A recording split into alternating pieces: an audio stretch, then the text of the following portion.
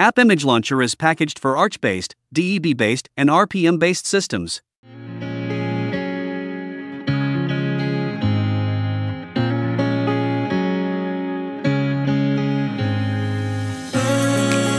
can't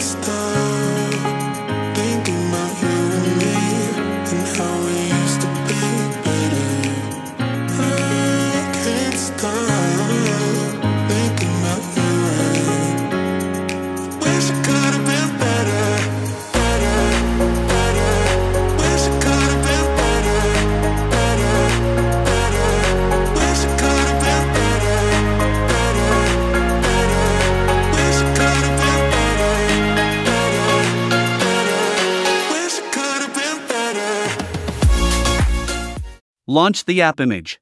For the purpose of this video, I will be using Balena Etcher app image. If the app image launcher is being launched for the first time, you will be prompted to configure the central target location to add the app images. After choosing the central location for the new app images, click OK to proceed. Next, to move your app image to the central location and include it in your application launcher, click the Integrate and Run button.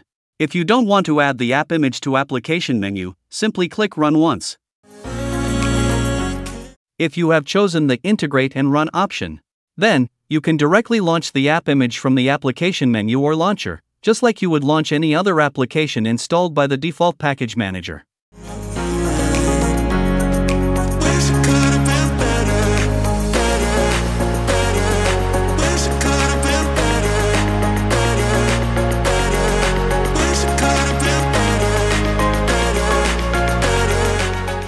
App Image Launcher moves all app images to a central target location. To change this location, open the App Image Launcher settings window from the menu or launcher.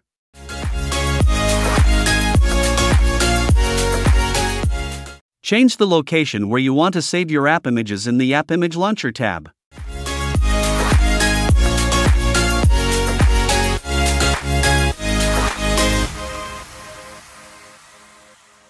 The new app images will now be stored in the chosen location.